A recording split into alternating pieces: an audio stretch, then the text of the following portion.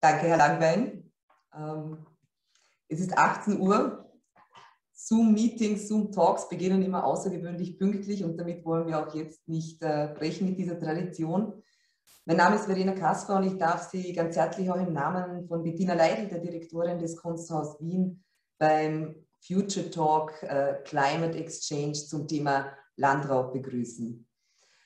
Das ähm, Kunsthaus Wien ähm, hat seit einigen Jahren einen programmatischen Schwerpunkt zu Kunst, die sich mit ökologischen Themen auseinandersetzt. Das ist auch äh, durch die Gestaltung von Friedensreit Hundertwasser äh, des Museums äh, auch ein bisschen in die Architektur eingeschrieben. Äh, mit Ines Dujak äh, und ihrer Ausstellung Landschaftsmalerei haben wir wieder eine Künstlerin eingeladen, eine Ausstellung umzusetzen, die sich ganz intensiv mit äh, Natur, äh, Ökologie ähm, und Themen äh, beschäftigt, aber die auch ganz stark verquickt sind mit gesellschaftspolitischen ähm, Themen. anlässlich ihrer Ausstellung, die bei uns derzeit zu sehen ist, haben wir diese Podiumsdiskussion heute zusammengestellt und dem Thema Landraub gewidmet. Michael Huber, äh, Kunstkritiker beim Kurier, äh, wird auch heute wieder die Moderation des Talks übernehmen und auch die Teilnehmerinnen und Teilnehmer in dem Fall ähm, begrüßen und vorstellen, gleich im Anschluss. Ähm, Ines Dujak fehlt in dieser Runde, äh, wie vielleicht einigen schon aufgefallen ist. Das liegt daran, dass sie offensichtlich ein äh, Gebrechen an ihrem Auto hat und äh, noch auf äh, die Pannenhilfe wartet. Es kann sein, dass sie äh, im Laufe des Talks noch dazukommt. Ähm, falls das aber nicht der Fall ist und auch ähm, aufgrund dessen, dass die, diese, äh, dieser Talk im Zusammenhang für ihre Ausstellung steht, hat mich Michael Huber gebeten, ein bisschen was über ihre Ausstellung zu sagen. Ähm, das würde ich jetzt gerne noch machen, Michael, oder möchtest du äh, vorher vorstellen? Ich würde sagen, äh, bleib einfach dabei und erzähl was über, über die Ausstellung. Ich glaube, sonst würde ja. ich jetzt radebrechend über Ines Dujak sprechen und du kannst das besser. Okay, dann mache ich das, dann mache ich das sehr gerne. Ähm, wir haben ähm, Ines äh, äh, Dujak äh, eingeladen, eine Ausstellung hier umzusetzen und es sind eigentlich äh, zwei äh, Teile, die wir, die wir präsentieren. In, der, ähm, in, einem, äh, in unserem Projektraum der Garage geht es stark um ähm, die ähm, Kolonialgeschichte, die verknüpft ist mit der Nomenklatur von, von Pflanzen. Äh, auf was ich aber eingehen möchte, ist die Arbeit, die sie für den Außenraum äh, gemacht hat im Innenhof des Kunsthaus Wien. Ich habe äh, im Chat ein, eine Fotografie geschickt, wo äh, man die Installation auch sehen kann oder zwei Tafeln davon. Ähm, und ist natürlich auch bei uns auf der Website zu sehen.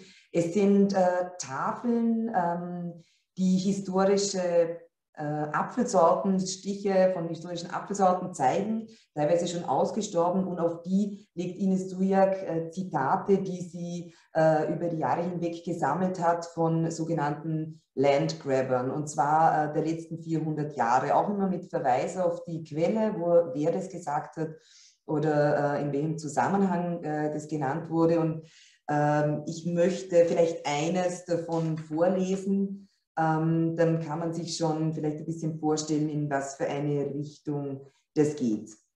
Etwa äh, ist überliefert von äh, John Sydenham Furnival, ein britischer Kolonialbeamter, äh, folgende Aussage. Die Tropenvölker haben ihre Unabhängigkeit verwirkt, weil es, ihnen weil es ihnen unter ihren Anführern nicht gelang, den Anforderungen der modernen Welt zu entsprechen und so zu ihren Bürgern zu werden. Ähm, das zeigt sich schon, äh, diese ähm, starke Verquickung mit äh, der Kolonialzeit und äh, dem, was wir auch heute ähm, in der, im Landraub, äh, äh, wie dieses vielschichtige ähm, Agieren äh, vielleicht zusammengefasst werden kann, auf die vielfältigen Ausformungen von Landraub und wo das herkommt, werden wir hoffentlich heute Abend mit Ihnen eingehen können. Ähm, Ines Dujak hat auch dieses ähm, Buch zu der Arbeit ähm, herausgegeben. Ich zeige es dir mal kurz, äh, wo, diese, wo diese Stiche auch, äh, diese Tafeln auch jeweils abgebildet und nachzulesen sind. Ähm, das ist also ein Thema, das Ines Dujak, die sich auch viel äh, mit, auch viel mit für Südamerika ähm, auseinandergesetzt hat, dort auch lange äh, gelebt hat und immer wieder dort gearbeitet hat, ähm, einbindet, aber auch äh, jegliche Art von Unterdrückung, Rassismus und Sexismus sind Themen, die in ihrer Arbeit verwoben sind. Ich kann gerne, wenn es dann später noch gefragt ist, noch etwas dazu sagen, Michael, falls dir etwas fehlt, ein Anhaltspunkt, äh, kann ich das sehr gerne ergänzen. Ansonsten äh, würde ich mich äh, jetzt mal für Ihr Interesse bedanken und wünsche eine, einen schönen und interessanten Talk. Bitte, Michael. Ja, herzlichen Dank, vielen Dank, Verena.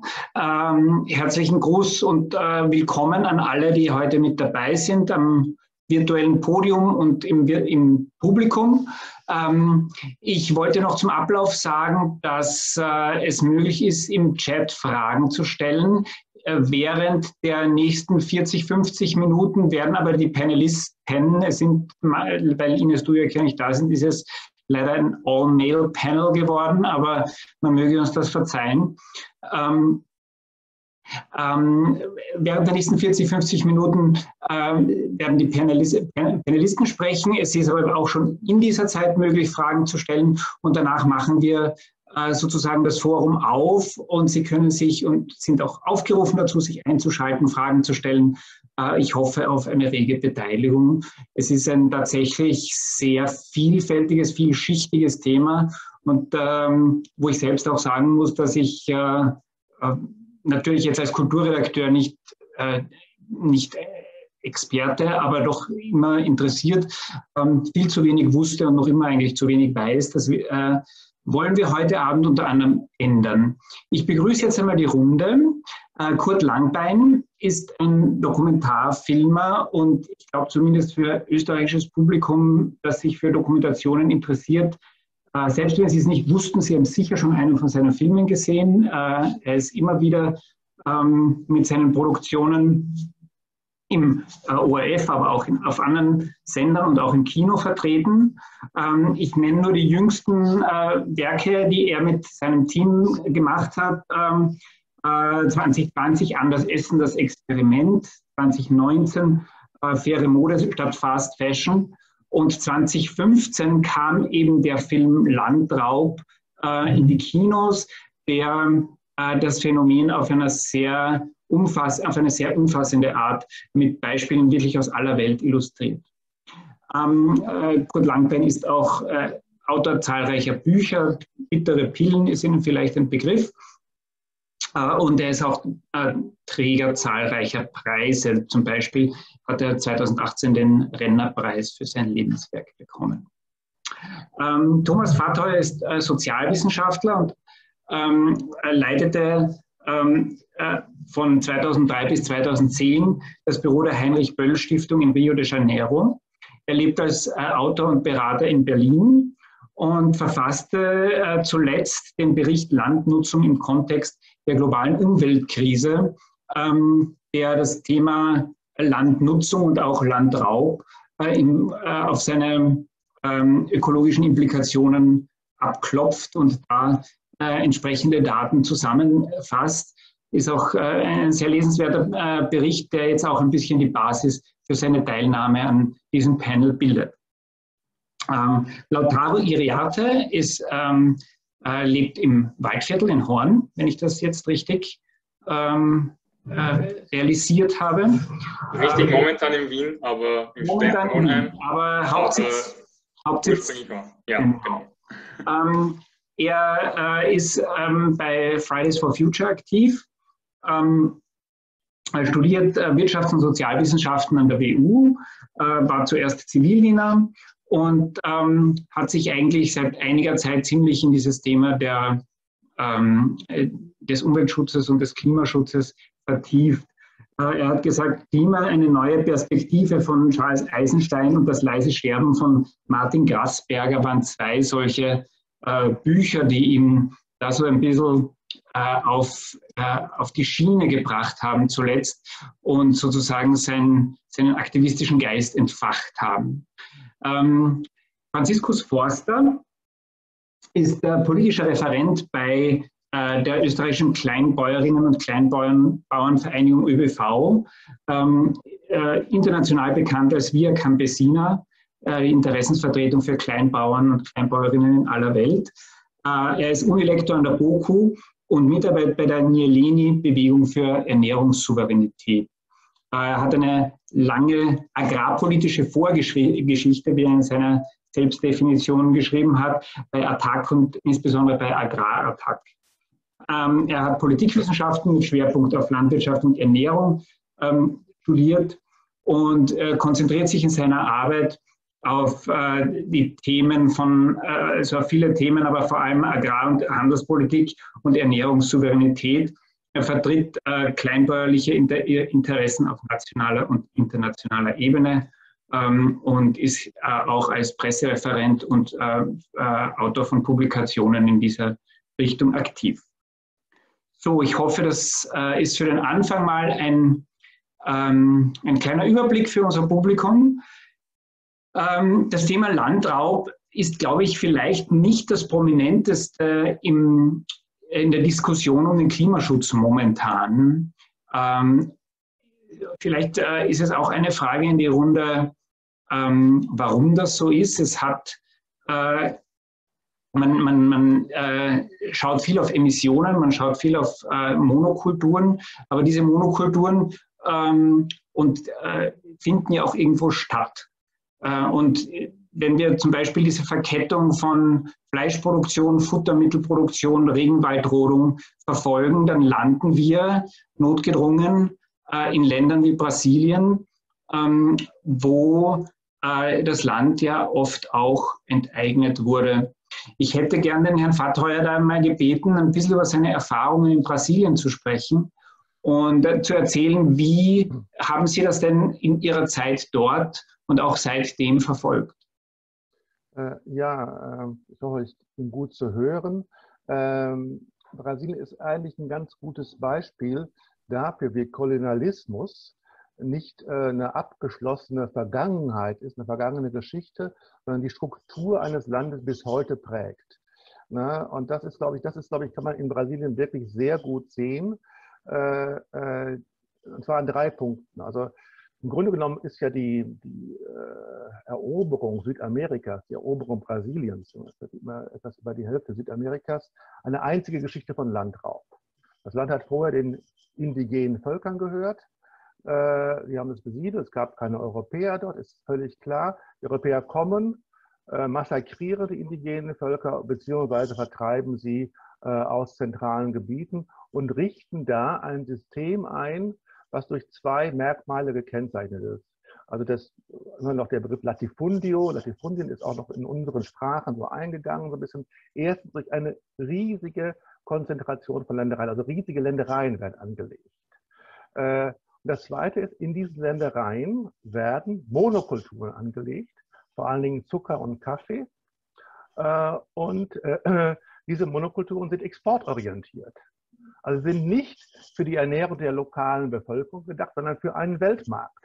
Das ist ein ganz frühes und sofort eingerichtetes System von, einem, von einer Produktion für den Weltmarkt. Genau diese Struktur, riesige äh, Konzentration von Land plus Exportorientierung prägt bis heute die Landwirtschaft Brasiliens. Also das ist geradezu frappierend. Der dritte Punkt ist, äh, was dieses, äh, dieses System geprägt hat, ist natürlich der Sklavenhandel, der, der, der, Handel mit versklavten Menschen. Ein eigenes und ganz wichtiges Thema.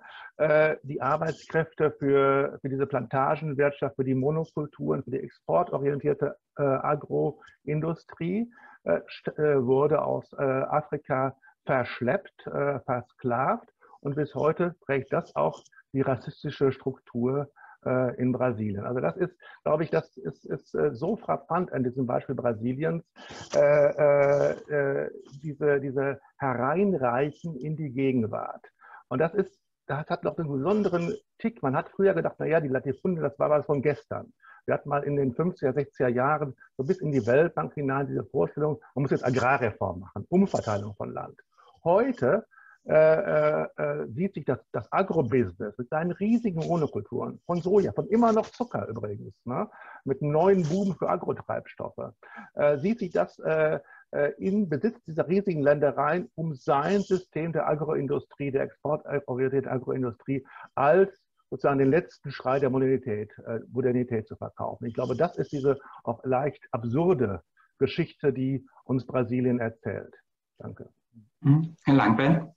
Ja, um das vielleicht zu ergänzen, diese eindrucksvolle Erzählung.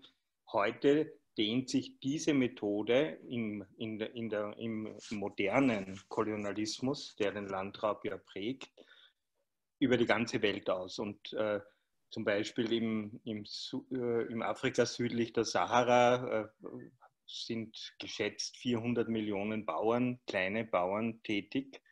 Jetzt sind schon ein bisschen weniger und dort dehnt sich die Agrarindustrie in einem Maß aus äh, und um eben diese genau dort auch wieder diese großen Flächen anzulegen für Zucker, für Agrotreibstoffe und vor allem für Palmöl.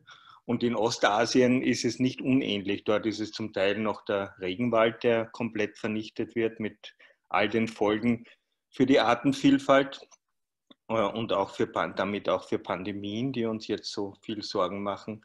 Und die, äh, und die Dimensionen sind atemberaubend. Ja, ich konnte mir das selber nicht vorstellen und ich hatte auch kein Bild davon. Ja, ich glaube, es gibt immer noch wenig Bilder davon. Wir haben halt versucht, einige zu machen, was das bedeutet. Nämlich, also das Land wird geraubt und den lokalen Bauern wird die Zukunft geraubt. Ja, die haben keine, keine Zukunft mehr. Ein kleiner, ein kleiner Prozentsatz kommt auf diesen Megaplantagen dann in einer Form von, die sehr an moderne Sklaverei erinnert, zur Beschäftigung und die anderen gar nicht mehr.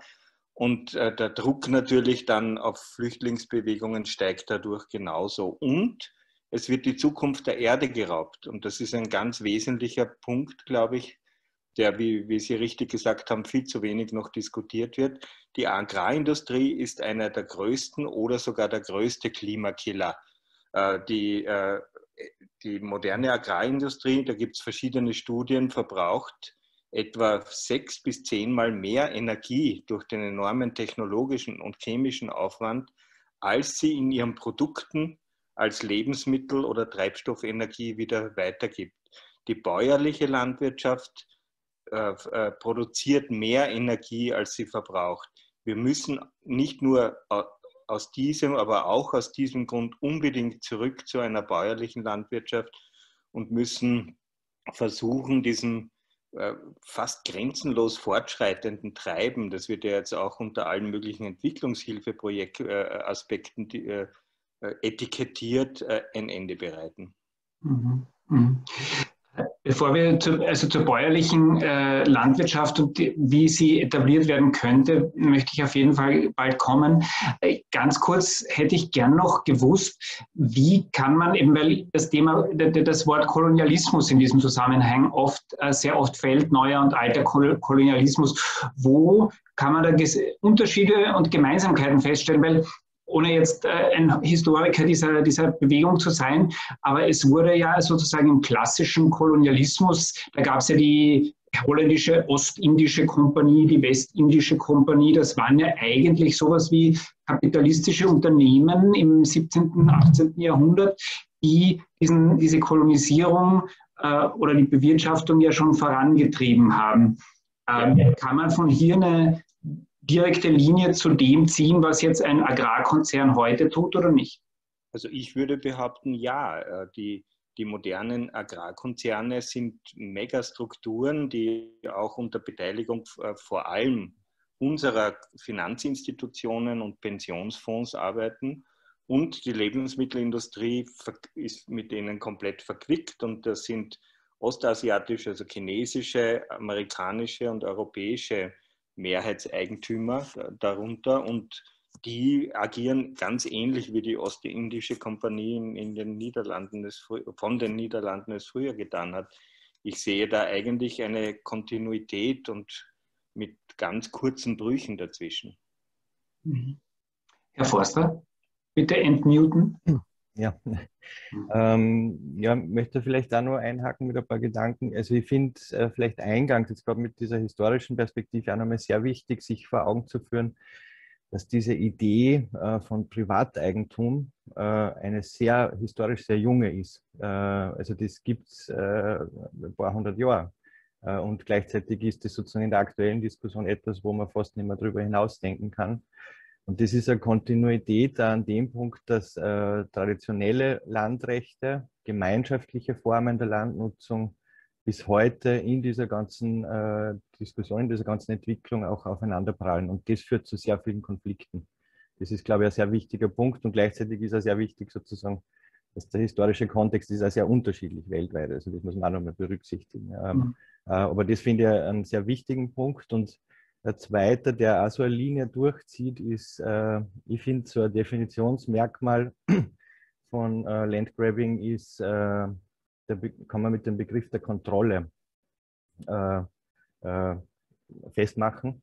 Äh, ist Control Grabbing eigentlich und das bezieht sich sehr oft nicht nur auf, die, auf Land als Fläche, sondern immer auch in Verbindung und das passt sehr gut auch was der Herr Vater gesagt hat, äh, eben zum Beispiel auch äh, in Bezug auf die Kontrolle von Arbeitskraft, äh, beziehungsweise auch und vor allem in Bezug auf die Ressourcen im Boden, äh, also Wasser oder Bodenschätze dann auch. Also dieser also Extraktivismus ist da auch so ein Begriff dafür, äh, quasi dieser Zweck der Ressourcenausbeutung.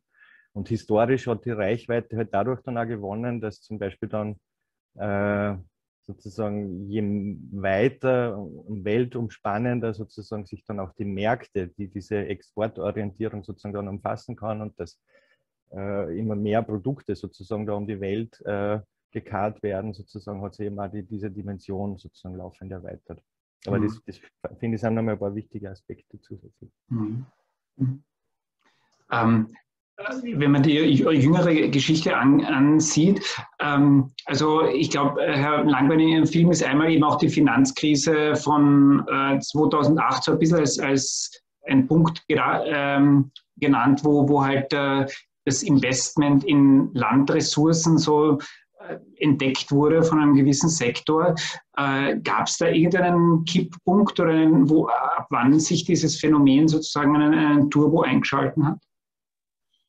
Also soweit ich kenne, hat das begonnen, äh, vor der, war das sozusagen ein Teil auch der, der, der Finanzkrise, weil die Spekulation zunächst mit Lebensmittelrohstoffen sozusagen ein extremes Ausmaß angenommen hat und ebenso wie die, wie die Immobilienblase dann irgendwie zu bröseln begonnen hat.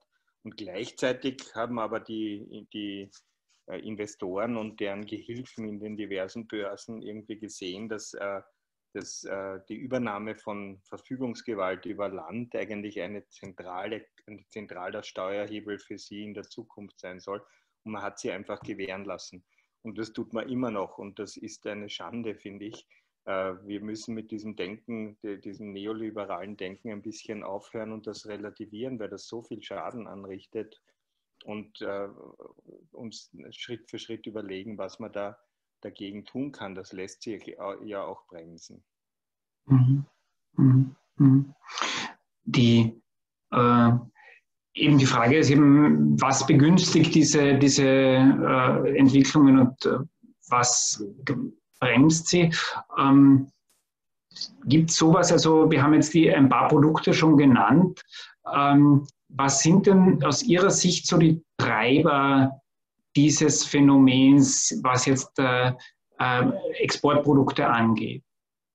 Also bitte, ich weiß nicht, die hätte ich gern von allen, die dazu was sagen wollen, eine Einschätzung. Herr Eriate? Ja, ähm, also es ist natürlich, ich glaube, es ist nicht die Marktwirtschaft per se. Ähm, das, was sich Adam Smith ausgedacht hat mit seinen, äh, der Bäcker, sagen wir mal, ähm, ist eigennützig, äh, backt sein Brot und verkauft es am Markt und dadurch, dass er eigennützig ist, haben alle mehr davon. Ähm, das Problem ist, dass dieses, die heutige, jetzige, ähm, auf kurzfristige Gewinnmaximierung ausgerichtete Wirtschaftsweise und das Wirtschaftssystem ähm, dazu führt, dass natürlich, wenn alle Kosten Gewinn optimieren, heißt ja auch, gleichzeitig Kosten minimieren. Und wenn man in Konkurrenz zu einem Weltmarkt steht, der immer billigere Preise fordert, ähm, ist es natürlich, heißt das, ich muss meine Kosten um jeden Preis minimieren oder ich bin raus. Ähm, ich überlebe nicht als Unternehmen. Und wenn wir jetzt ein Beispiel Brasilien oder ähm, Fleischproduktionskette, äh, Fleischproduktionsunternehmen, die brauchen billige, äh, billige Steaks, dafür brauchen sie das billige Soja. Dadurch tun sie ein paar Halbseidene oder ein paar Handlanger rekrutieren, die ihnen halt das Land beschlagnahmen und, und die Bäume fällen. Ähm, und die Kosten sind günstiger, weil es halt auch keinen hohen Standard gibt, ähm, keinen, keinen starken Staat in dem Fall, der eingreifen kann, äh, weil ja, viele andere Probleme. Und es sind alle irgendwie gezwungen. Äh, der, der, derjenige, der quasi im Auftrag von dem Unternehmen äh, das, das Land grabt sozusagen, muss das machen, weil er braucht das Geld um die Familie zu ernähren vielleicht.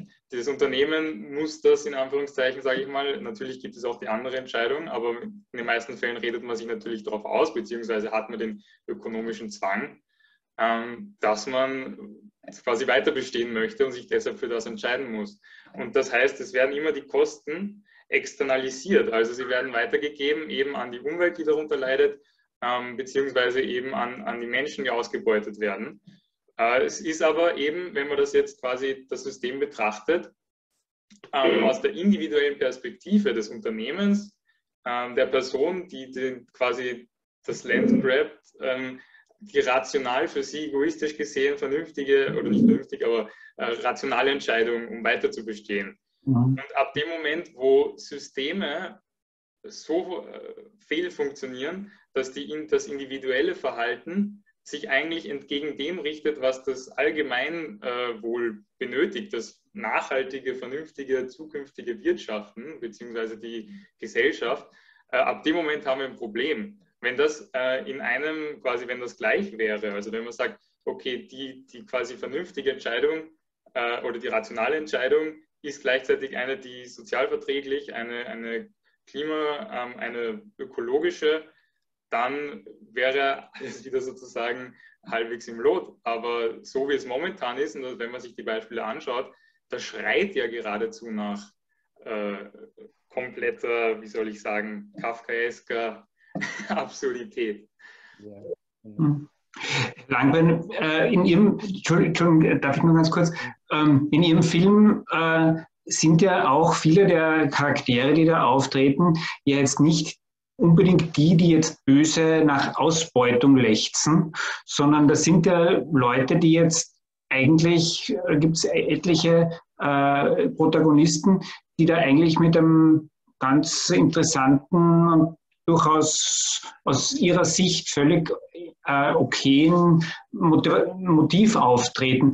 Vielleicht können Sie noch ein bisschen was aus der Zeit erzählen, als Sie den Film gemacht haben, was sind das für Leute, die Landgrabber, Landräuber, das, da, da denkt man immer an Schwerkriminelle. Ja, ich meine, da gibt es natürlich solche auch drunter, aber ich, ich, ich, kann da den Kollegen von Friday for Future nur zustimmen. Es ist die Logik des Handelns, die, die diese Menschen in, in Sachzwänge bringt, die sie zu unmenschlichen Handeln letztendlich und auch zu umweltzerstörerischen Handeln treibt. Es fängt ich meine, unsere, Supermarkt, unsere Supermärkte stehen unter dem Druck der ständigen Preisoptimierung. Die Lebensmittelkonzerne, die Energiekonzerne, alle stehen unter dem Druck der permanenten Preis, äh, äh, äh, Preisoptimierung. und, und diese Kette setzt sich fort bis in die Ländereien und bis zum Plantagenmanager, der dann genauso in dieser, in dieser Logik ist. Aber da muss man sich ja fragen, wo kann man denn diese Logik ein bisschen relativieren und, und äh, brechen äh, und um, ihn, um, ihnen andere Sachzwänge auch noch zur Seite zu stellen, nach denen sie ja dann auch operieren. Auch die Finanzinstitutionen investieren in die Bereiche, wo am meisten Profit herauskommt und wenn das die Agrarindustrie ist, dann halt dort. Und da ist zumindest ein Ansatz aus meiner Sicht das Lieferkettengesetz, das ja erfreulicherweise jetzt zumindest einmal ernsthaft diskutiert wird und in einigen Ländern sogar vor, vor der Realisierung steht. Das bedeutet, europäische oder Industriestaaten, äh, Unternehmen, sei es Lebensmittel, sei es andere, äh, Produ äh, Produzenten sind verpflichtet, soziale und ökologische Mindeststandards in der gesamten Lieferkette einzuhalten und diese Einhaltung zu überwachen, von der, von der ersten Produktion des Rohstoffes bis zum Endprodukt bei sonstigen Sanktionen. Das erscheint mir zumindest einmal ein bedeutsames Mittel, um den Druck äh, der, der, Manager, die ja einfach nur das tun, was sie tun müssen, nämlich möglichst optimal aus deren Sicht zu wirtschaften, dass das fatal ist, äh, das äh, ist nicht in ihrem Einflussbereich sozusagen, um, deren, äh, um die Handlungsparameter schrittweise zu modifizieren. Mhm. Herr Vater, Sie wollten dazu auch was sagen. Es kam auch eine Frage im Chat eben zu jenem Lieferkettengesetz, ob das positiv greifen kann kann da gerne was zu sagen. Ich würde nochmal formell auf einen Punkt noch äh, kurz eingehen, ist die Frage dieser Sachzwänge. Das eine sind die Sachzwänge von Akteuren, die sozusagen im Hamsterrad drin sind. Das andere ist aber auch sozusagen der Impuls und der Anreiz, in dieses Feld einzudringen.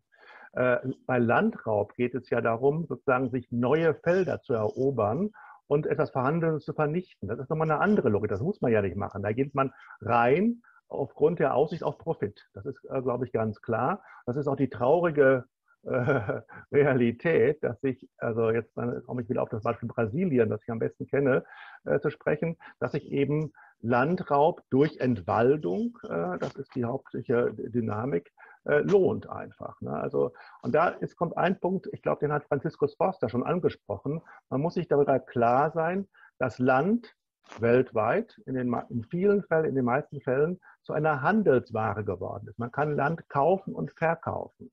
Und wenn man das ernst nimmt, heißt es, dass jede Ware hat einen eigenen Markt. Es gibt den, und das ist ganz wichtig in dieser, in dieser Logik von Landraub. Land ist selbst eine äh, Ware und die Aneignung von Land, unabhängig, was ich damit machen will, ob ich da Viehzucht drauf mache, Soja anbaue oder einen Swimmingpool hinbaue. Die Aneignung von Land ist bereits ein ökonomischer Prozess, der äh, mit Profitinteressen äh, äh, ähm, äh, verbunden ist. Man schätzt in Brasilien, wir kennen alle die Bilder vom brennenden Wald und man denkt, ja, das ist, ja, Leute brennen den Wald ab, um hinterher Viehweiden anzulegen. Stimmt auch, wenn man sich die Satellitenbilder anguckt, äh, stimmt auch. Aber diese Viehweiden bringen oft gar keinen Profit. Die sind eine Form der Aneignung von Land äh, und Profit bringt die Aussicht auf Steigerung des Bodenpreises. Das heißt, wir kriegen das auch nicht so leicht in den Griff, indem wir weniger Fleisch essen oder irgendwas, weil diese, diese Aneignung von Land ihre eigene Logik hat. Äh, zum Beispiel in Brasilien, äh, nationale Akteure wollen sich durch Landbesitz absichern äh, gegen Inflationsgefahr. Ne? Also wir kennen hier das Wort von Betongold ne? und das gibt es ähnlich in verschiedenen Formen. Das ist dann eben kein Beton drauf, das muss gar nicht sein, sondern Land als, sagen, als Sicherung von Vermögenswerten und Spekulationen für die Zukunft. Das ist leider ein ganz entscheidender Treiber äh, von Landraub, zumindest in Brasilien. Gut, jetzt sehen wir auf den, trotzdem auf den meisten Feldern sind, äh, sind Viehweiden, also das ist ungeheure, ungeheure Fläche. In Brasilien hat circa 200 Millionen Hektar des Landes in Brasilien sind Viehweiden. Das ist, so groß wie die gesamte äh, landwirtschaftliche Fläche der EU. Oft recht, äh, oft steht nur ein Vieh, äh, eine Kuh auf, auf einem Hektar Land, ne, sehr extensiv, ne? aber ein, eine riesige Fläche, äh, die mit Viehweiden äh, äh, ausgefüllt ist. und das Fleisch wird gegessen und exportiert. Jetzt kommt das Lieferkettengesetz. Es wäre ja schön, wenn wir sagen müssten, wir müssten jetzt, könnten jetzt, müssten die, die Produzenten nachweisen, dass sie, ähm, äh, dass das Land aus, äh, dass das nicht aus Entwaldung kommt, wie zum Beispiel so, so ein Sojaabkommen, das mit Greenpeace ab, ab, ausgehandelt worden ist. Dann müssen auch, muss, soll exportierter Soja soll nachgewiesen werden, dass er nicht aus entwaldeten Flächen stammt, jüngst entwaldeten Flächen. Irgendwann ist alles mal entwaldet worden. Äh, äh, was ist das Problem dabei? Das wurde schon gerade gesagt. Das ist so konzipiert, dass dieses Gesetz für die äh, Textilindustrie in Bangladesch. Wie sieht es mit der Fleischindustrie aus? Erstens, der größte Teil des Fleisches, das in Brasilien äh, produziert wird, wird in Brasilien verbraucht. Das ist der erste Punkt. Der zweite Punkt ist, der als größte, der größte Exporteur äh, oder äh, Empfänger von Fleisch aus Brasilien ist China. Äh, das, der dritte, der größte Konzern, der Fleisch produziert und exportiert, ist ein brasilianischer äh, Konzern, JBS Friboi, der sich damit rühmt, der größte äh, äh, Verarbeiter von tierischen Proteinen in der Welt zu sein. Das ist nicht nur der größte Fleischproduzent Brasilien, sondern der größte der Welt. Das ist auch vielleicht eine Sache, etwas kleine Unterschiede zu kolonialen Zeiten. Äh, dass wir auch jetzt sozusagen Big Player äh, im, im, Süden haben, die Stahlindustrie in Indien, kennt jetzt jeder, die, die Chinesen, aber eben auch brasilianische Konzerne, die durch so Lieferkettengesetz gar nicht zu erreichen sind. Äh, deshalb äh, äh, ist auch so eine andere, eine nationale Initiative da in Brasilien zu versuchen, dort eine, äh, eine Zertifizierung für äh, ähm, Fleisch aus äh, entwaldungsfreien ähm, Gebieten zu, zu kennzeichnen. Ne, äh, auch da gibt es natürlich Probleme, weil das immer nur einen Teil des Marktes erfasst. Aber ich sehe da Grenzen, gerade in diesem Fall Fleisch. Wenn wir das mal sehen, der große Flächenverbrauch, der große Punkt, äh, dass wir da so leicht mit einem Lieferkettengesetz leider nicht rankommen, was in anderen Punkten durchaus total Sinn macht und ein kleiner Hoffnungsschimmer ist. Mhm. Herr Langbein? Ja, also ich, man darf nicht die Illusion haben, mit einem Lieferkettengesetz in der Europäischen Union äh, die ganze Welt äh, äh, da wirklich substanziell zu verbessern. Aber es ist ein Akzent in die richtige Richtung und vor allem äh, in unserem Verantwortungsbereich, in unserem äh, politischen Steuerungsbereich, weil das ist ja, wir können, wir können uns natürlich äh, über die ganze Welt unterhalten und das sollen wir auch. Aber eigentlich ist es die Verantwortung der Europäer, einmal dafür zu sorgen, dass die europäischen Finanzinstitutionen, die Industrie und die Handelsorganisationen nicht zum zentralen Treiber dieses Landraubes werden oder, oder es nicht länger sind, weil sie sind, wenn ich die Zahlen richtig kenne, immer noch die größten, ja, äh, die größten äh, Landräuber sind die europäischen äh, Agrarindustrie und Finanzinstitutionen. Da gibt es verschiedene Abwägungen und die Chinesen werden immer mehr und, und natürlich gibt es auch Substrukturen, die jeweils relativ bedeutsam sind. Aber das sollte sozusagen die Erkenntnis, dass wir damit nicht die ganze Welt äh, entscheidend beeinflussen, sollte uns, glaube ich, nicht davon abhalten, diesen entscheidenden Schritt zu tun um zumindest unserer Verantwortung in unserem Bereich einmal gerecht zu werden und einen Schritt in die richtige Richtung zu setzen. Es wurde die letzten vier Jahrzehnte darüber geschwiegen und es wurde alles akzeptiert und es wurde immer mehr und mehr. Und äh, ja, irgendwann sollten wir für uns, für unsere Verantwortung was tun. Herr Forster? Ich möchte vielleicht an dem Fleischbeispiel äh, ich möchte jetzt viel auf einmal sagen, aber ich versuche an dem Fleischbeispiel nochmal klar zu sagen. Äh, äh, ich glaube nämlich, das ist ein wichtiger Punkt, da nochmal systemisch drauf zu schauen. Äh, so ein bisschen Fleisch ist nicht gleich Fleisch. Ähm, ähm, es gibt die agrarindustrielle Produktionsweise, die darauf beruht, dass man Tiere in Massen hält, einerseits, und die Futtermittel von einem anderen Ort kommen. Und das wird monokulturell angebaut. Ähm, und es gibt eine andere landwirtschaftliche Produktion, die in Kreisläufen versucht, die direkt vor Ort Futtermittel zu produzieren. Äh, bei Wiederkäuern wäre zum Beispiel die ideale Form Gras, äh, dass die Wiederkäuer Gras fressen. Äh, das ist etwas, was die Menschen selbst nicht essen können. Ähm, das ist ganz was anderes, wie wenn man quasi mit Soja füttert, Kraftfutter intensiv und das um die ganze Welt kart sozusagen. Ähm, und beim Lieferkettengesetz müsste man, glaube ich, in diese Richtung weiterdenken, äh, quasi diese, dass, dass sozusagen dieses System ja letztendlich äh, gebrochen wird, weil das äh, führt ja dann vor den Futtermitteln auch nochmal zu einem Riesenproblem äh, mit der ganzen Ressourcenintensität, was Pestizide und äh, Düngemittel, das ist ja ein riesen Klimafaktor, äh, sozusagen betrifft, was das Lachgas. und wenn man das einrechnet, dann ist es ja, sind es wirklich verschiedene Welten. Und ich glaube, das wäre wichtig beim Lieferkettengesetz überhaupt. Man, muss, man müsste dann in Europa zum Beispiel dafür sorgen, heute ist leider ein Tag, äh, der nicht so erfreulich ist mit der GAP-Reform, mit der gemeinsamen Agrarpolitik, aber im Grunde müsste man Formen ganz massiv äh, stützen, dass sozusagen Fleisch beispielsweise äh, vor Ort in Kreisläufen agroökologisch, äh, äh, jetzt Berglandwirtschaft in Österreich etc. etc. Da gibt es viele Möglichkeiten, die Sinn machen äh, quasi, dass man das voranstellt und das wäre sehr sinnvoll. Kurze Wertschöpfungsketten, kurze Lieferketten und so weiter. Also da müssen wir, glaube ich, sehr stark in diese Richtung denken. Mhm. Mhm.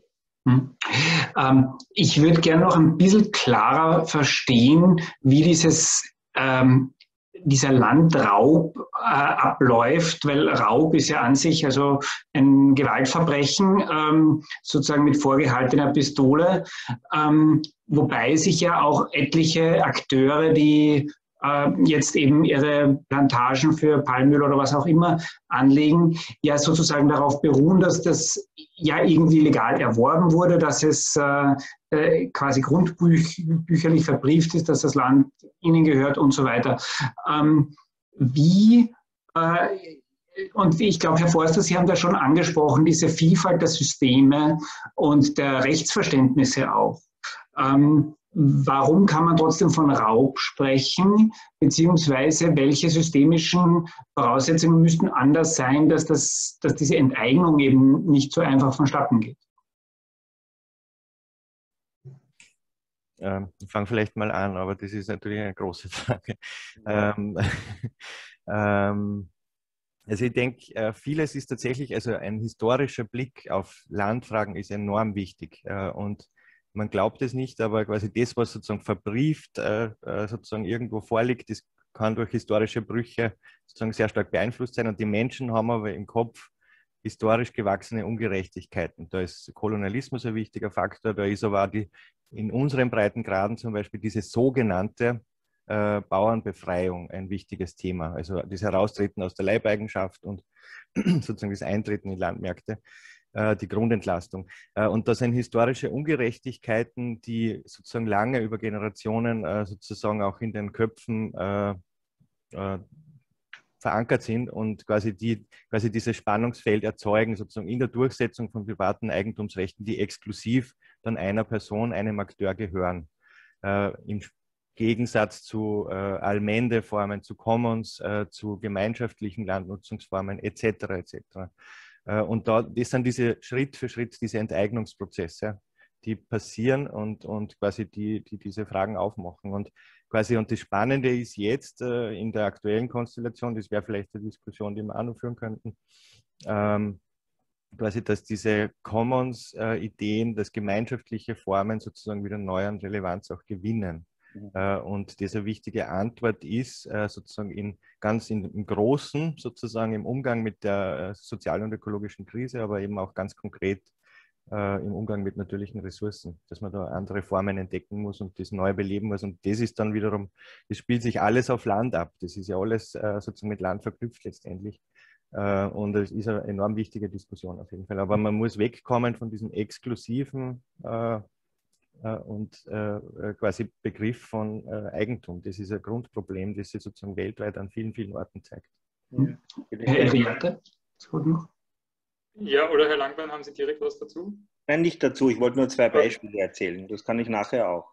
Okay. Ähm, nein, ich wollte auch noch ein bisschen äh, eine andere Frage stellen, beziehungsweise ich habe das so mal gelesen oder verstanden, dass viel Land, das eben zum Beispiel, wo Indigene, die das auf dem sie gelebt haben, die das benutzt haben, ähm, halt in dem Rechtssystem von dem Staat, in dem sie dann leben, ähm, eben nicht zum Beispiel grundbücherlich eingetragen sind oder halt eben nicht sozusagen, äh, das ist sozusagen nicht offizielles Eigentum von ihnen, ähm, wodurch es natürlich sozusagen auf diesem halblegalen, sage ich mal, Weg leicht wird, dieses Land einfach zu okkupieren und zu sagen, ja, es gehört ja eh niemandem, weil es ist niemand eingetragen. Äh, es wurde aber natürlich ähm, jahrhundertelang von, von ihnen äh, benutzt und gepflegt und äh, sie nennen es halt vielleicht auch nicht Eigentum. Ähm, aber das, glaube ich, ist auch ein Problem, oder? Sehe ich das ähm, richtig? Ja, dazu wollte ich gerne zwei Beispiele erzählen, äh, die das Bitte? genau illustrieren, glaube ich, und die auch die Bedeutung Europas dabei illustrieren. Das eine ist in Sierra Leone, ein Projekt einer, einer von der Schweiz dominierten Firma, das als Entwicklungshilfeprojekt gedeutet wurde. Ja, da geht und die, dort gibt es äh, traditionell und historisch kein Privateigentum an, an Boden, sondern die, die Dörfer äh, verwalten ihre kleinbäuerlichen Strukturen gemeinsam und da gibt es halt verschiedene Regulative. Und jetzt hat sich dort glatt äh, sozusagen mit europäischer Supervision dieses Riesenunternehmen hingesetzt und hat äh, den Vertretern der Dörfer auch noch einen Rechtsanwalt zur Verfügung gestellt, einen, einen britischen, ja, äh, äh was an sich schon absurd ist. Und die haben miteinander einen Vertrag ausgehandelt, der 99 Jahre die Verfügungsgewalt über, den, über mehr als 90 Prozent vom Boden, ja, den für einen Pappenstiel von 1 Euro pro Hektar den, den Konzern übergibt. Ja? Und äh, das wurde sozusagen nach unserem äh, Verfügungsrecht und Eigentumsrecht äh, abgeschlossen und es wurde sogar ein, eine Schiedskommission eingesetzt. Also die, die Bauern, die, Dörfer, die, die Dörfler könnten sich sogar wehren. Die sitzt in London, die Schiedskommission. Und das zeigt irgendwie äh, dieses äh, scheinrechtliche äh, Brimborium, das da geschaffen wird, um die, äh, die europäischen Konzerne sozusagen denen ein Alibi zu verleihen. Oder in, in Kambodscha, wo äh, was ist es äh, ein bisschen anders, aber im Ergebnis recht ähnlich. Dort hat ein großes EU-Programm äh, zur, zur Einführung des Grundbuches geführt, um endlich sozusagen Eigentumssicherheit zu schaffen. Und die trickreiche Regierung, sehr autoritär, also man kann von Demokratie nicht wirklich sprechen, aber voll unterstützt von der Europäischen Union, hat, hat die hat es geschafft, diese Anmeldetermine für die, für die Landrechte der Bauern, die über viele Generationen, da gab es natürlich auch noch Verwerfungen durch die Roten Khmer und die Verbrechen, die da begangen sind, worden sind. Aber die Leute hatten ihre Nutzungsrechte immer historisch äh, einfach durch faktische Tun und hat, man hat die dann daran gehindert, das rechtzeitig anzumelden, überwiegend. Und dann saßen die alle ohne Rechtstitel da. Und dann hat der Staat entschieden, na gut, wenn da niemand ist, dann vergeben wir das an die Konzerne. Ja. Also diese Spiele werden in großem Ausmaß in ganz vielen äh, Ländern gespielt, wo es eben keine, keine, kein, kein Grundbuch oder ähnliche, ich meine, das ist schon eine Errungenschaft in Europa. Das Grundbuch spielt sicher auch eine, eine Rolle, auch bei das bei der Stabilisierung des bäuerlichen Eigentums natürlich, äh, wenn man das nicht so leicht hops nehmen kann. Aber da sind wir, da sind wir in einem sehr trickreichen Umfang und das, was ich ein bisschen aus Brasilien oder Lateinamerika gehört habe, ist in der Methode ja nicht unähnlich. Ja? Also da wird einfach das große imperiale, koloniale äh, Instrumentarium der politischen Macht gegossen in Paragraphen eingesetzt, um Verfügungsgewalt äh, über den Boden zu kriegen, der uns nicht gehören dürfte und über den wir nie und nimmer verfügen dürften. Mhm. Mhm. Herr Vater, bitte. Ja, äh, das ist auch keine Gegenrede. Ich wollte nur auf einen anderen Aspekt und vielleicht auch mal auf einen positiven Aspekt zu sprechen kommen, was Alternativen oder so Möglichkeiten angeht. Äh, also in, nicht nur in Brasilien, auch in anderen Ländern Lateinamerikas sind die Rechte indigener Völker und diese auch von traditionellen Gemeinschaften in den Verfassungen, in den Verfassungen, die nach den Militärdiktaturen dort äh, erstellt worden sind, abgesichert. Vor allen Dingen in Brasilien, Ecuador und Bolivien, aber sogar auch in, äh, teilweise in Kolumbien. Äh, äh das hat sehr große Auswirkungen gehabt und ist gerade, wenn wir jetzt vor allen Dingen mal sehen, äh, was so Kampffelder der, so einer Regierung wie Bolsonaro sind. Das mhm. ist genau der Angriff auf diese Rechte indigener Völker, die in der Verfassung von 88 äh, verankert worden. Das heißt, es ist den indigenen Völkern das Recht auf Land anerkannt worden, auf, äh, auf das Land, was sie traditionell bewohnen, und das ist verdammt viel Land. Das ist äh, etwa die, äh, ein Viertel der Fläche von ganz Amazonien, also das ist als, als Amazonia legal äh, definiert. Das ist so ungefähr Frankreich und Spanien zusammen. Das ist sehr viel Land. Dieses Land ist da ist auch greift zum Glück nicht so eine Grundbuchlogik, weil die ist eher so auf für, Bauern ist die ganz gut, aber die ist, weil die auf Privateigentum gerichtet ist. Das ist sozusagen, es geht hier um verfassungsrechtlich äh, garantierte Rechte äh, von indigenen Völkern. Und sind jetzt auch äh, in der zweiten äh, Folge von ähm, äh, traditionellen Gemeinschaften. Da gab es auch sozusagen, das ist am Anfang nicht so verachtet von der Verfassung, einen, einen, einen Passus, der die Rechte von den, den äh, Gemeinschaften von entlaufenen ehemaligen Sklaven, äh, versklavten Menschen ansieht. Sie werden Quilombolas genannt in Brasilien. Äh, die gibt es in ganz in Brasilien verteilt und die haben auch durch diese Verfassung ein Recht auf ihr Land bekommen. Das ist alles Land, was kollektiv genutzt wird. Äh, wir haben in ganz Amazonien etwa die Hälfte der Fläche von ganz Amazonien. Amazonien ist riesig im Vergleich zu europäischen Maßstäben. Ne? Ist die Hälfte des Landes ist äh, indigenes Land und Schutzgebiete. Schutzgebiete mhm. ist eine weite äh, Form, aber da sind viele Gebiete von traditionellen Gemeinschaften drin. Also das heißt, es, ist, es gibt da eine Gegenbewegung, die die äh, indigenen nennen die Verteidigung ihrer Territorien. Der Begriff Territorien ist da in diesen Debatten ganz zentral geworden. Und das die gute Nachricht ist, da gibt es was zu verteilen. Da hat es Fortschritte gegeben. Die schlechte Nachricht ist, dass genau diese Fortschritte heute unter einer Regierung wie Bolsonaro, wahrscheinlich auch in anderen Regierungen dieser Welt, unter massiven Angriffen und, und äh, Bedrohungen stehen. Mhm. Mhm. Ich möchte an dieser Stelle vielleicht ganz kurz äh, auf die Arbeit von der Ines Dujak auch verweisen, äh, die, wie ich finde, das sehr, sehr gut fokussiert, was für eine Geisteshaltung eben über die Zeit immer wieder ähm, hinter dieser Abwertung von Indigenen gestanden ist. Also sie hat mit diesen wirklich eigentlich sehr kurzen Zitaten das extrem gut auf den Punkt gebracht, finde ich, wie da sozusagen diese Unterlegenheit der indigenen oder traditionellen Gemeinschaften einfach einzementiert wurde. Ähm, ich frage mich jetzt so ein bisschen in einer in gegenwärtigen äh, Ländern des globalen Südens, wo jetzt die weißen Kolonialherren eigentlich weg sind, aber Leute wie Bolsonaro an der Macht, sind die die geistigen Erben dieses rassistischen Denkens ähm, oder verschiebt sich das irgendwo anders in eine, eine andere Machtstruktur?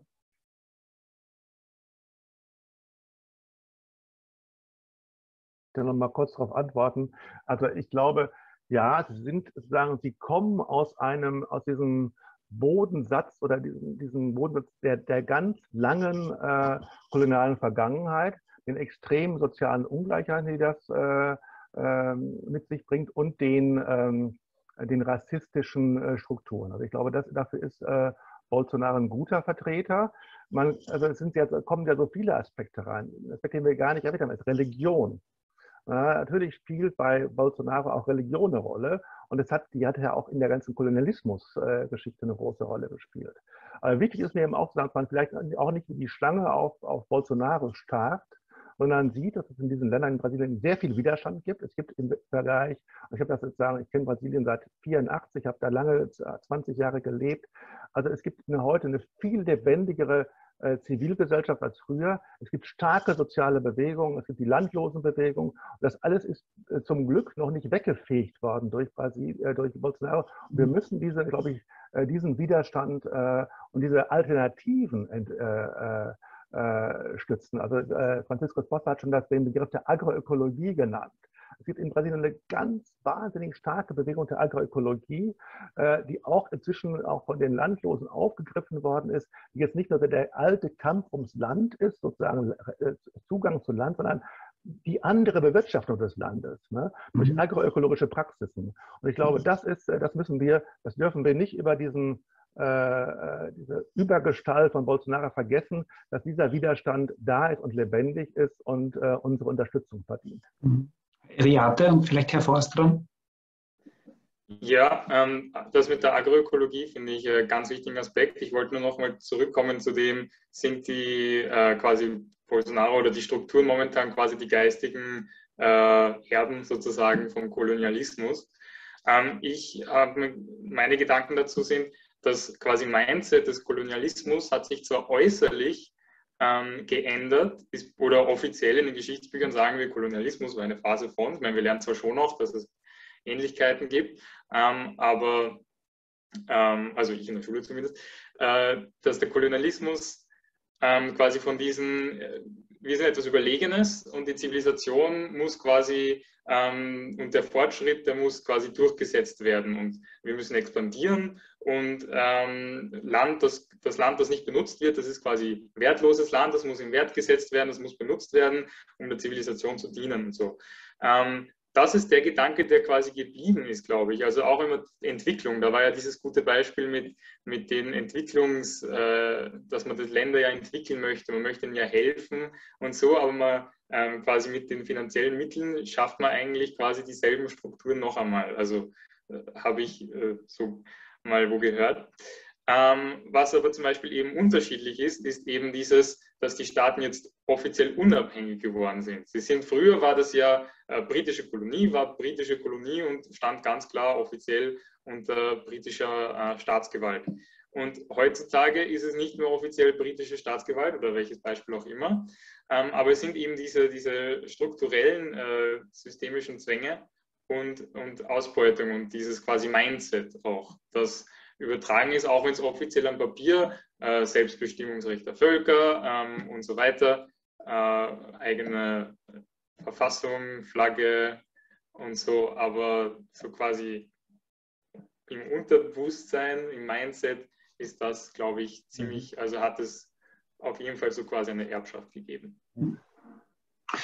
Herr Forster, vielleicht können Sie noch ein bisschen was erzählen zu diesem Thema, eben der, vielleicht auch Positivbeispiele äh, mit Via Campesina. Was macht äh, diese Bewegung und welche anderen Bewegungen sehen Sie global, die eben genau dieser Entwicklung entgegenwirken? Es ist ja vielleicht auch äh, manchmal so ein bisschen der Eindruck, dass die Konzerne wirklich über alles drüber fahren, vielleicht kleinteilige Strukturen mehr oder weniger eher nur belächeln. Aber in manchen äh, Gegenden ist das ja auch nicht so. Mhm. Ähm, ich finde eh den Aspekt nochmal sehr wichtig, äh, das vielleicht vorweg, quasi es sind nicht nur die, die Konzerne als Akteure, die über alles drüber fahren, sondern äh, quasi das wird auch massiv geteilt äh, von vielen Menschen, insbesondere im globalen Norden. Also da wird vieles sozusagen, was dann als Komfort, als genau, also das korrespondiert sehr stark. Also das ist äh, wichtiger in der Analyse, quasi wenn es um Alternativen geht, das einen Blick zu haben. Ähm, if, äh, was, was eine ganz wichtige Geschichte ist, und die fängt im Grunde auch mit Landgrabbing an, vor gut 20 Jahren ich glaube, es war auf den Philippinen, äh, quasi eine Mitgliedsorganisation von La Via Campesina, Bauern und Bäuerinnen, äh, erkennen, äh, wir brauchen sozusagen menschenrechtliche äh, äh, Bezugspunkte sozusagen für uns als äh, Kleinbauern und Bäuerinnen. Und damit begann der Weg quasi der UN-Deklaration über die Rechte von Kleinbauern und Bäuerinnen und Menschen, die in ländlichen Gebieten arbeiten, so heißt es, UNDROP äh, und die wurde 2018 in der Generalversammlung beschlossen. Das heißt, das ist, das ist auch nochmal ein wichtiger Punkt, äh, quasi, dass äh, sozusagen jetzt Kleinbauern, Bäuerinnen eigene Kategorie, sozusagen eine Rechtskategorie auch sind. Und das wurde erkämpft. Und das ist, glaube ich, schon ein wichtiger Punkt im, im Ringen um Alternativen. Und da geht es sowohl um die Rechte auf Land, da geht es aber auch um soziale Absicherung, da geht es um Saatgut beispielsweise, da geht es um viele Aspekte, da kommt vieles zusammen. Ähm, das ist sozusagen ein Bereich, der, den ich für außerordentlich wichtig halte. Und, und ein zweiter, jetzt nochmal, weil das Stichwort schon gefallen ist, mit der Agrarökologie, äh, beziehungsweise übergeordnet vielleicht auch noch mehr Ernährungssouveränität. Äh, die Agrarökologie eben als Alternative in dieser Produktionsweise, das knüpft ja ein bisschen an, was ich vorher am Beispiel Fleisch auch äh, gesagt habe, äh, quasi ähm, äh, im Wesentlichen ist da die Idee, von äh, quasi den Menschen, die Nahrungsmittel produzieren, äh, quasi die Autonomie, die Selbstbestimmung äh, in der Verfügung über Ressourcen möglichst stark sozusagen bei denen zu haben, die arbeiten, die die Arbeit leisten in Wirklichkeit. Äh, das bezieht sich auf Saatgut, das bezieht sich auf Land äh, und viele andere Wasser natürlich auch und viele andere Ressourcen. Und das in Kreisläufen so zu gestalten, dass man eben sozusagen dann ja, sozusagen diese, diese Idee der Nachhaltigkeit sozusagen einerseits wirklich, dass die Menschen davon leben können äh, und dass das äh, sozusagen langfristig auch tragbar ist. Ähm, und da finde ich dann auch den Aspekt wichtig, dann ist der Blick auf Land nicht nur die Fläche, also Länge mal Breite oder so, sondern dann, dann wird auch der Boden zum Beispiel sehr wichtig, sozusagen das, was im Boden sich abspielt. Äh, dann wird die Landschaft wichtig, äh, dann wird sozusagen, dann denkt man in mehreren Etagen, Agrar, äh, Agroforstwirtschaft beispielsweise, also dann hat man sozusagen nicht nur das, die eine Kultur, sondern sozusagen in mehreren Da, da tun sie ganz neue Möglichkeiten auf, sozusagen. Das ist ein völlig anderes Mindset, eine völlig andere Idee von, von Landwirtschaft auch, die extrem vielfältig ist, äh, extrem stark logischerweise Kontext äh, angepasst und so weiter. Aber da, da ist sozusagen völlig andere äh, Möglichkeiten sind da gegeben für die Menschen, die davon leben, die da mitleben und die dann auch äh, viel reichhaltigere Lebensmittel auch äh, dann, wo Menschen dadurch ernährt werden können. Einen Themenkreis, den ich gerne noch angesprochen hätte, wäre das Greenwashing gewesen. Ich habe eben das Gefühl, dass das Thema äh, Landraub und das, äh, die Problematik der Landnutzung sehr leicht zu verstecken ist hinter äh, naja, wir pflanzen ja eh Bäume und äh, dem, eben auch dem viel zu oft äh, ausgehöhlten Begriff Nachhaltigkeit, ähm, weil es können, kann natürlich auf einem enteigneten Land auch äh, Biolandwirtschaft betrieben werden, beziehungsweise äh, im, in Ihrem Film Herr Langbein gibt es, glaube ich, ein ganz gutes Beispiel, wo jemand sagt, naja, wenn man Corporate Social Responsibility betreibt, wenn man irgendwelche Projekte anbietet für die Bevölkerung, dann ist das ganz super und dann ist sozusagen der Weg frei für die Palmölplantage. Ähm, wie ähm, kann, also wo, wo passiert sowas, wo kann sowas vermieden werden und ist es für uns äh, Konsumenten in der westlichen Welt überhaupt jemals zu durchschauen? Ähm, ich hoffe doch, weil das, was da passiert mit, äh, mit dem, so, diesen Sustainable-Etiketten, die sich die Industrie selber verleiht, wo es leider auch die eine oder andere NGO gibt, die ihnen da auch ein Feigenblatt abgibt, das ist natürlich eine ganz fatale Geschichte. Und äh, ich glaube, auch da ist letztendlich der Gesetzgeber gefordert, dass er für solche Labels, die ökologisch, nachhaltig, äh, verantwortungsvoll oder wie auch immer heißen, ganz klare äh, Kriterien definiert und, äh, und damit diesen, diese, diesen permanenten Nebelgranaten zumindest äh, eine Bremse gibt. Ja?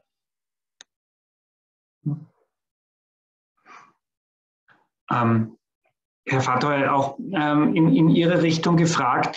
Ähm, das Thema, das da auch mitschwingt, auch in Ihrem Text, äh, Carbon Offsetting, auch bei Fluglinien und so weiter. Es werden eben jetzt verschiedenste, äh, verschiedenste Initiativen gesetzt, um eben den äh, Verbrauch von äh, Flugverkehr und anderen Emissionen eben gegenzurechnen mit anderen Maßnahmen. Kann vermieden werden, dass das auf dem Rücken eben jener Landbevölkerung geschieht, ähm, über die wir jetzt gesprochen haben? Also das Problem fängt natürlich da an, äh, wenn ich die Klimaneutralität, die ja jetzt alle europäischen Staaten und die EU zu ihrem Ziel erklärt, vielleicht erreichen will durch äh, äh, naturbasierte Lösungen außerhalb des eigenen Kontexts. Wenn also wir äh, ihr in Österreich, in Deutschland eure Wälder irgendwie äh, anrechnet auf diese ganze Klimabilanz, finde ich das noch, äh, ist das äh, okay. Äh, aber wenn man sagt, naja, aber äh, damit kommen wir nicht hin mit der Klimaneutralität und äh, da gibt es doch in anderen Ländern so viel Wald und so viel Land und die können ja ein bisschen aufforsten, da haben wir so Win-Win-Lösungen und lösen dadurch unsere Probleme. Also ich glaube, das ist ein ganz gefährlicher Weg hm, weil, äh, also dummerweise wachsen auch die Bäume, sollen zwar in den Himmel wachsen, aber sie wachsen nicht auf dem Himmel. Äh, das heißt, sie wachsen auf Land. Und diese, diese Sache, äh, Klimalösungen auf äh, äh, Naturbasen, das ist, da gibt es mehrere, aber das ist hauptsächlich Bäume pflanzen. Das ist das, was am besten funktioniert. Bäume äh, äh, saugen CO2 auf in ihrer Wachstumsphase und sind damit irgendwie äh, der, die Nummer eins in dieser Klimaretter- Phalanx wieder aufbaut, gerade ne, als Nature-Based Solutions heißt das dann oder Climate-Based Solutions in dem englischen Slang. Ne? Also äh, äh, wir äh, unterstützen irgendwo in Afrika, es gibt ja schon eine Initiative dafür, äh, eine Milliarde Bäume weltweit zu pflanzen, die, die Bond Challenge heißt das. Ne? Es, die, das Weltwirtschaftsforum in, in Davos letztes Jahr war voller äh, Kompromisse, mehr Bäume zu pflanzen. Auch Trump war begeistert dabei. Ne, da, das freut jeden, Baum zu pflanzen. Ne, aber diese Bäume, die Klimalösungen in Europa äh, oder im, im, im, globalen Norden äh, stützen sollen, wachsen dann auf äh Böden, die im Süden liegen und die dann nicht mehr für andere Sachen zur Verfügung stehen. Das muss man ganz klar sehen. Und dieser Kontext, der Kompensat also Landnutzung für Kompensation von Klimasünden des Nordens äh, zu nutzen. Der ist hochproblematisch, glaube ich. Ne? Äh, und weil es eben, ne, das haben wir am Anfang auch gesagt, ne, äh, alle hier, die hier vereint sind, ne, dass es eben bei Land auch um Machtfragen geht, wem gehört die Sache, wer hat Verfügungsgewalt. Ne? Und dann wird sozusagen die Verfügungsgewalt über Land einer Logik äh, unterzogen, die nicht mehr die Logik der Leute, die dort leben, äh, äh ist, äh, sein kann eigentlich. Ne? Es hat viele verschiedene äh, Facetten. Es können vielleicht andere auch noch also etwas ergänzen. Ich lasse es erstmal bei, bei diesem kleinen Statement. Herr Eliate? Ja, also diese Kompensationen, zum Beispiel beim, beim Flug, glaube ich, gibt es die, wo man sagen will, will man die CO2-Emissionen kompensieren. Und ich glaube, letztens beim Burger King habe ich gesehen, gibt es auch eine Box, wo man Regenwald eben kaufen kann. Das wäre genau der Beispiel. Also ein Verein unterstützt, der Regenwald kauft.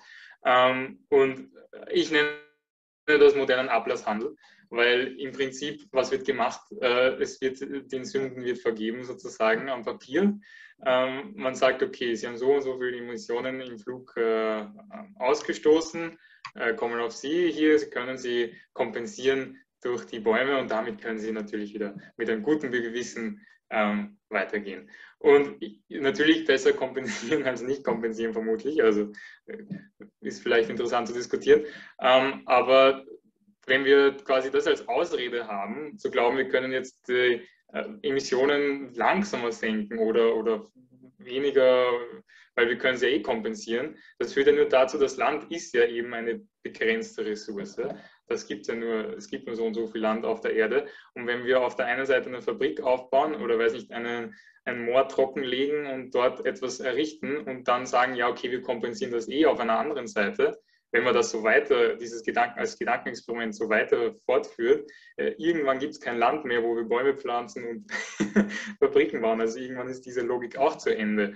Und äh, es funktioniert auch deshalb nicht, weil zum Beispiel das Kompensieren, das dauert ja Zeit, bis das wächst. Das muss ja auch an einem richtigen Platz gepflanzt werden. Ich habe auch gehört, dass es Organisationen gibt, die, die hauen die irgendwo hin, die Bäume, und dann wachsen die nicht einmal gescheit. Das heißt, das, was eben auch über Jahre potenziell gebundenes CO2 ist, heißt noch lange nicht, dass das A ökologisch verträglich ist mit der Umgebung, also richtig eingebettet, äh, dass das dort überhaupt wächst und es dauert auch lange. Also ich sehe das äh, ziemlich problematisch.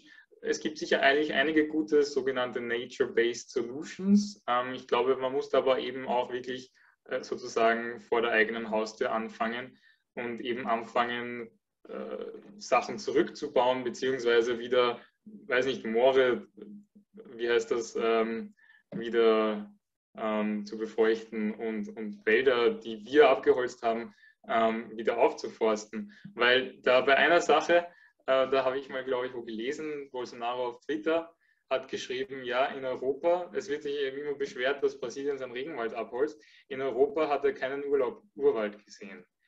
Und der in diesem Einsatz gebe ich ihm irgendwie recht. Ähm, wir zeigen mit dem Finger quasi auf Brasilien, dass sie jetzt ihre, ihre Wälder abholzen, dass das böse sind und er meint, hey, hallo, ihr seid wirtschaftlich so gut aufgestellt, weil ihr das schon vorher gemacht habt und nur weil wir aufholen wollen.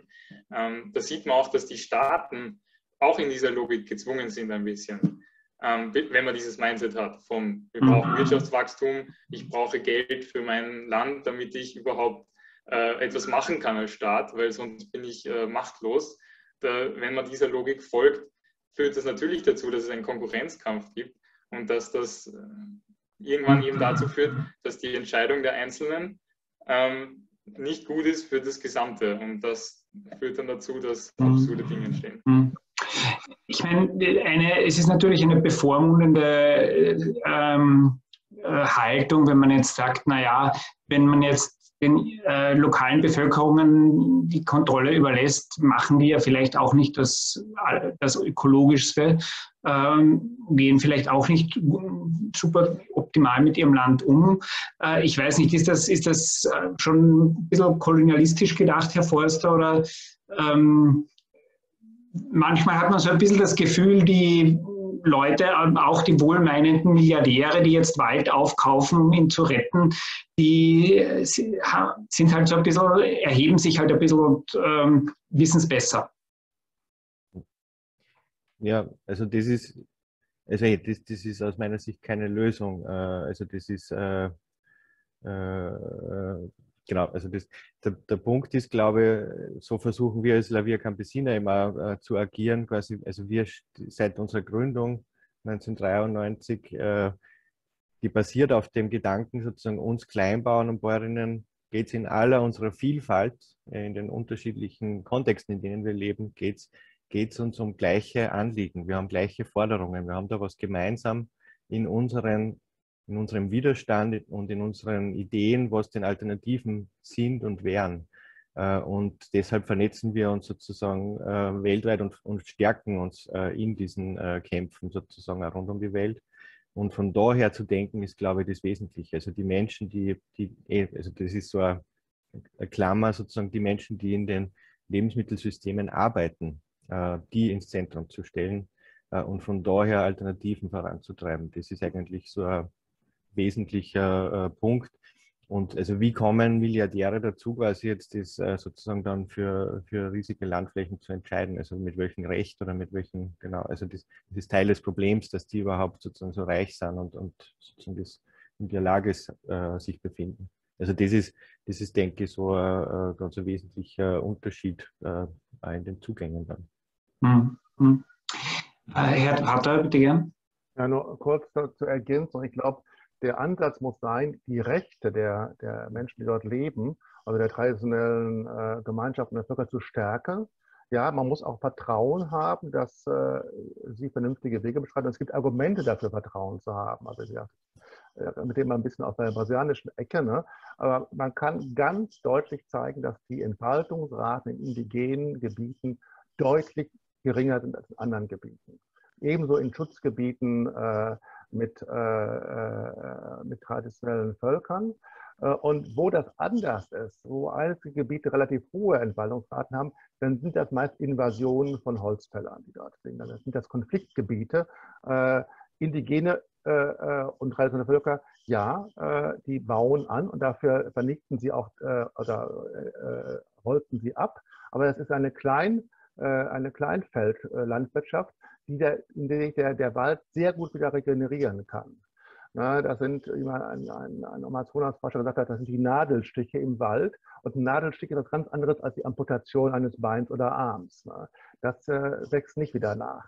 Und ich glaube, diesen Unterschied muss man sehen. Da ist was Anknüpfbares. Das, hat auch, das ist jetzt auch kein, äh, das sind nicht Insel der Seligen, da sind Konflikte da, ja. Ne? Aber da kann sich was entwickeln, während diese äh, agroindustrielle Landwirtschaft, die auf der, der Zerstörung von natürlichen äh, Ökosystemen aufbaut überhaupt, die, die Zerstörung ist die sozusagen die Ausgangsbasis ihres Wirkens, äh, da gibt es keine Anknüpfpunkte, die muss eingeschränkt werden und langfristig zurückgebaut werden. Ich glaube, das ist, das ist das, was wir leisten können, dass sich diese Form nicht weiter ausarbeitet. Und da muss man noch ein kleines Wort dazu. Da muss natürlich auch berücksichtigen, dass diese Ausdehnung nicht nur auf Kosten von indigenen Völkern, bäuerlicher Landwirtschaft geht, sondern auf Kosten der Biodiversität geht. Und wir haben jetzt doch gelernt in den letzten Jahren, dass die globale Krise nicht nur eine Umweltkrise ist, sondern auch eine Krise der Biodiversität. Das hat auch nochmal die, äh, unsere Pandemieerfahrung verstärkt, dass, die, dass wir an eine gefährliche Grenze geraten sind der Zerstörung von ök natürlichen Ökosystemen auf dieser Welt und dass kein Modell mehr weitergeführt werden kann, das auf der Zerstörung dieser Ökosysteme aufbaut. Mhm. Mhm. Ja. Danke, wir sind schon relativ weit fortgeschritten in unserer Zeit. Ähm, jetzt wollte ich mal kurz fragen, ob es äh, Fragen aus dem Publikum gibt. Ähm, bitte, wenn Sie an spezielle Diskussionsteilnehmer Fragen haben oder selbst was dazu sagen wollen, bitte jetzt ist die Zeit. Akut. Äh, höre ich jetzt nichts. Aber vielleicht, äh, ich glaube, die Frage, die äh, grundsätzlich im Raum steht, ist eben noch die nach der, also es kam aus dem Chat auch noch die, eine Frage, ob etwas, äh, ob das Thema im Green Deal ausreichend mitgedacht ist. Und generell wäre meine Endfrage eigentlich, die politischen Handlung, der politische Handlungsbedarf ähm, ist natürlich auf vielen Ebenen gegeben, aber was würden Sie sagen, was jetzt äh, die wichtigsten Punkte sind, die auf dem Tisch liegen und erledigt gehören. Herr Langbein, wollen Sie vielleicht äh, noch kurz was dazu sagen? Es tut mir sehr leid, ich muss mich verabschieden. Ich, ich okay. bin von einer Stunde ausgegangen. Alles klar. Ich kann leider nicht mehr wünschen. Noch ein interessantes Gespräch und bedanke. Ja. Danke auf jeden Fall fürs Mitmachen. Ja, äh, gibt es von kann, noch. Ich kann anfangen mit kurz, mit einer ganz kurzen ja. Intelligenz werden. Was man, also auf einerseits finde ich, gibt es ganz banale Sachen, mit denen man anfangen kann oder äh, äh, erstmal Fehlentwicklungen ähm, äh, gegensteuern. Und wir haben eben gesagt, dieses Lieferkette ist ein positiver Ansatz und gleichzeitig sehen wir, dass es äh, äh, die Europäische Union diesen EU-Mercosur-Vertrag abgeschlossen hat mit auch einer Regierung Bolsonaro als dem wichtigsten Player, der was vorsieht, die äh, Verstärkung von Fleisch und äh, Zucker-Ethanol-Exporten. Also im Grunde genommen, äh, dass äh, internationale Verträge, die äh, das agroindustrielle System verstärken, statt es einzuschränken. Also das ist, glaube ich, eine Sache, die äh, sehr gut beobachtet werden soll. Wir haben sehr große Hoffnung in Deutschland auch auf Österreich, dass sie da äh, dem, dem Vertrag nicht zustimmen werden ne?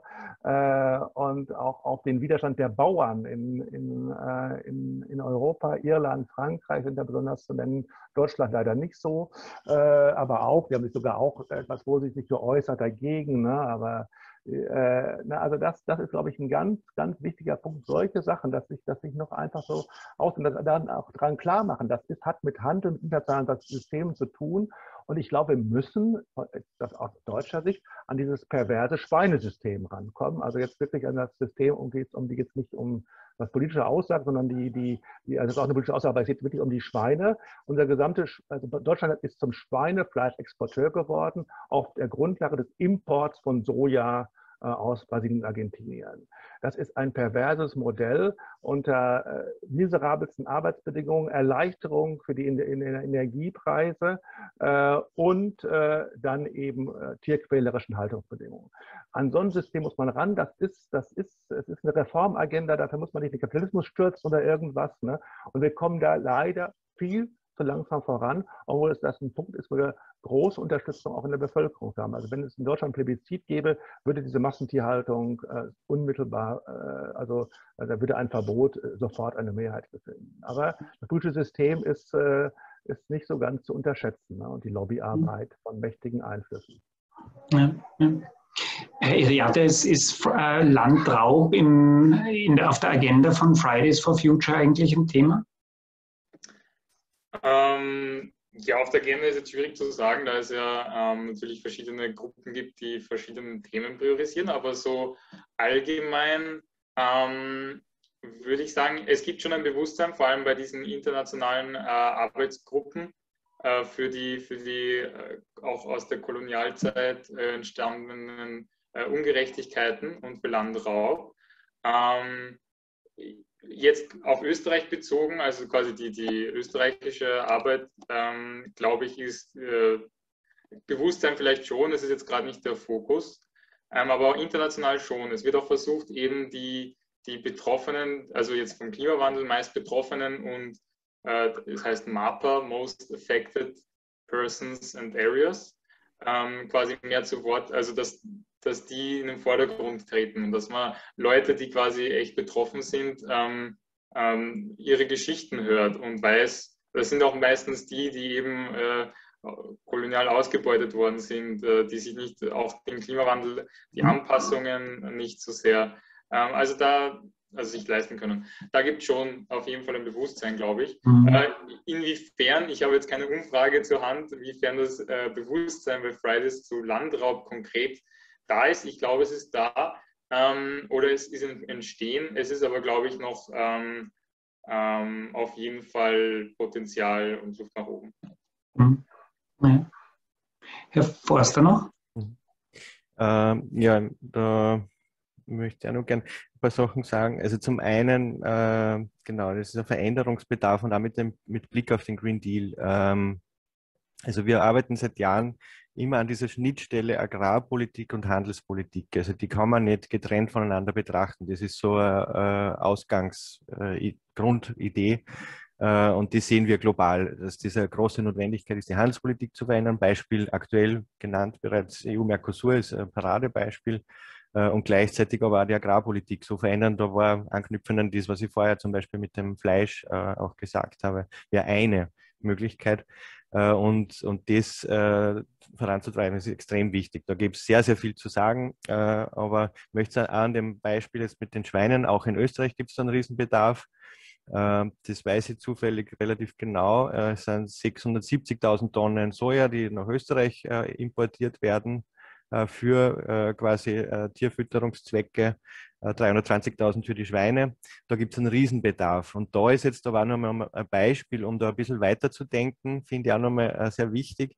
Derzeit wird Donausoja als Alternative sehr viel diskutiert ähm, und Europasoja.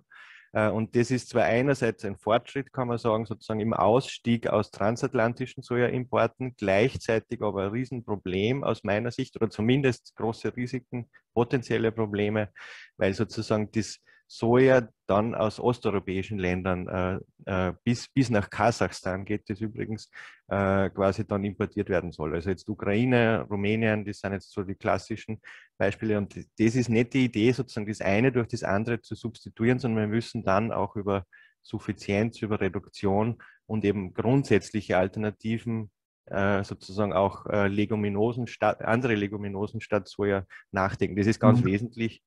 Äh, und zwei ganz kurze Punkte nur, weil das die Brücke auch nach Österreich nochmal schlagt. Also einerseits Europa quasi, wir arbeiten als Lavia Campesina gerade quasi, wir vernetzen uns ganz intensiv gerade, um eine Landrichtlinie voranzutreiben, also dieses Thema auf europäischer Ebene auch viel mehr noch und das mit einer Bodenrichtlinie auch zu verknüpfen. Das ist ein ganz wichtiges politisches Projekt. Und in Österreich, auch wenn es jetzt gerade in Corona-Zeiten nicht ganz groß ist, aber das kann jederzeit auch wieder kommen. Äh, das finde ich einen riesen Landgrabbing-Fall in Wirklichkeit auch, ist die dritte Piste. Äh, und da sind wir natürlich auch mit äh, den Fridays, denke ich, mhm. in einem ähnlichen Boot unterwegs, wahrscheinlich, mhm. wenn es darum geht, mhm. auch da Alternativen zu finden. Mhm. mhm. Okay. Ich weiß nur, weil Sie, äh, es kam noch eine, eine Frage aus dem Publikum an Sie, Herr Forster. Also quasi die äh, Stadt-Land-Freikauf durch NGOs, äh, ist, es, ist es da nicht besser, die, oder ist es besser, die politischen Rahmenbedingungen in betreffenden Ländern zu ändern? Es ist natürlich immer die Frage, äh, wie kann man jetzt abseits von solchen Verträgen auf Regime einwirken, die halt sehr offen sind für ähm, äh, für, für, solchen Landkauf von außen, wo ja durchaus auch viel Korruption passiert, ähm, hat man da, haben unsere Staaten sozusagen da eine gute Handhabe?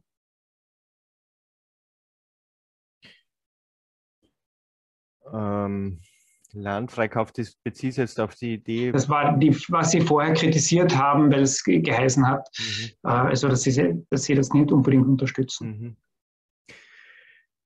Ja, also die politischen Rahmenbedingungen müssen sich auf jeden Fall ändern. Und das ist sozusagen etwas, was äh, da wie dort äh, passieren muss. Äh, und das, mhm. ich finde, das haben wir jetzt, glaube ich, eh ganz gut auch mhm. herausgearbeitet, dass das auch zusammenhängt sozusagen. Also mhm. diese, dieser scheinbar naturgegebene Bedarf in Ländern des globalen Nordens sozusagen permanent auf intensiven Rohstoffimporte zuzugreifen aus anderen Ländern. Äh, diese Strukturen müssen sie verändern. Das muss umgebaut werden und da gibt es eben dann die Alternativen mit äh, Agrarökologie und anderen Dingen. Das ist so ja. eine Grundidee, an der ich empfehlen würde, weiterzudenken. Aber äh, ich denke auch, und äh, auch nochmal ganz, ganz grundsätzlich auch diese e-, enorme globale Ungleichheit in den Vermögen. Also natürlich führt das jetzt vom Hundertsten ins Tausendste ein Stück weit, aber es ist trotzdem ganz essentiell, äh, quasi auch jetzt, äh, was die Finanzmärkte, die Regulierung der Finanzmärkte äh, einzuleiten und Steuerflucht und so weiter. Also wo fließt denn dieses Geld? Wo ist denn das Geld, das dann sozusagen dieses Land akquiriert und so weiter? Also das, äh, das sind die Punkte, die, die, ja, wo es natürlich viele Baustellen gibt, aber die sind jetzt nicht so, äh, so viel Fantasie braucht man sozusagen auch nicht, um, um, ja. um da Schritte zu, zu ja. setzen, potenziell. Also, aber das ist eine wichtige Frage für die Zukunft natürlich. Ja.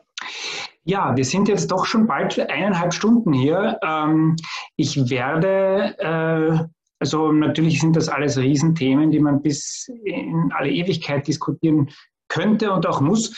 Ich möchte jetzt hier trotzdem mal einen Schlussstrich machen äh, und äh, nochmal auf die Kunst verweisen, weil das ist, wir sind ja trotzdem auf dem Podium einer Kunstinstitution hier und ich äh, glaube eben, also ich habe jetzt da die Fahnenstange der Kunst nicht so hoch gehalten, aber ähm, die bewusstseinsbildende Kraft, die da ausgeht, die möchte ich auch nochmal ins Feld führen. Äh, wenn Sie sich eben auch jetzt eben die äh, Arbeiten von der Ines Dujak anschauen, die das wirklich sehr pointiert formuliert.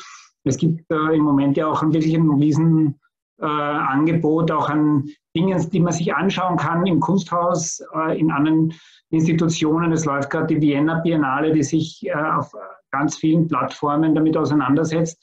Also vielleicht äh, wollte ich am Schluss noch einmal auf diese Angebote verweisen, ähm, da auch mal hinzuschauen. Ich glaube, gerade bei so komplexen Themen ist es gut, immer wieder mal auch, ähm, auch von ästhetischer Seite her ähm, das aufbereitet zu bekommen. Und äh, in diesem Sinn äh, wollte ich mich ganz herzlich bei allen Ihnen bedanken, auch bei unserem Publikum natürlich, beim Kunsthaus Wien, fürs Hosten und äh, mich herzlich verabschieden. Dankeschön fürs Dabeisein. Wiedersehen.